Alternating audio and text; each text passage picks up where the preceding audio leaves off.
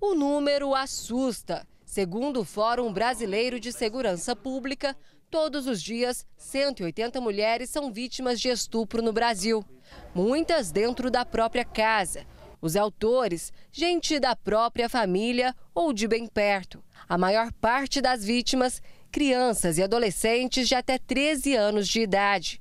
Meninas que têm suas vidas dilaceradas por criminosos da pior espécie. A pena para o crime de estupro varia de 6 a 10 anos de reclusão para tentar identificar com mais facilidade o estuprador, foi sancionada na semana passada pelo presidente Jair Bolsonaro a lei que cria o cadastro nacional específico para a pessoa que cometeu esse tipo de crime. O cadastro deverá conter obrigatoriamente informações sobre os condenados, como características físicas, impressões digitais, perfil genético, fotos e endereço residencial.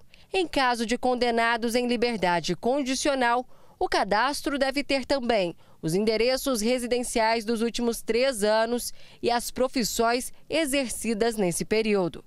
Para o superintendente adjunto da Polícia Técnico-Científica de Goiás, a nova lei vai reforçar o trabalho que hoje já existe no Estado. Já existe o Banco Nacional de Perfis Genéticos ou Banco Nacional de DNA, para ficar mais simples e ele opera na Polícia Científica do Estado de Goiás desde 2015. Mas agora, com este cadastro específico para estupro, para crimes sexuais, a gente acredita que haverá um reforço. No mês passado, um estuprador em série foi preso em Senador Canedo, suspeito de roubar e estuprar pelo menos seis mulheres.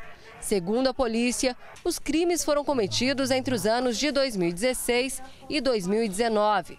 No ano passado, um outro suspeito foi preso acusado de estuprar 30 mulheres em Goiânia e região metropolitana.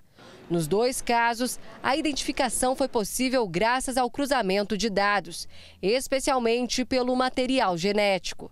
Pela lei, no sistema só podem ser incluídos dados de condenados.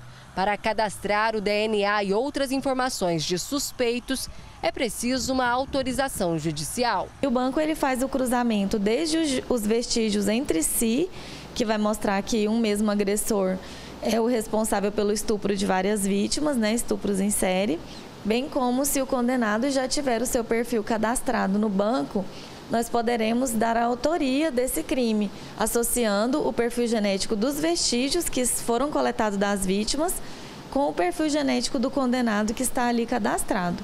O sistema de cada estado precisa se adequar à nova lei.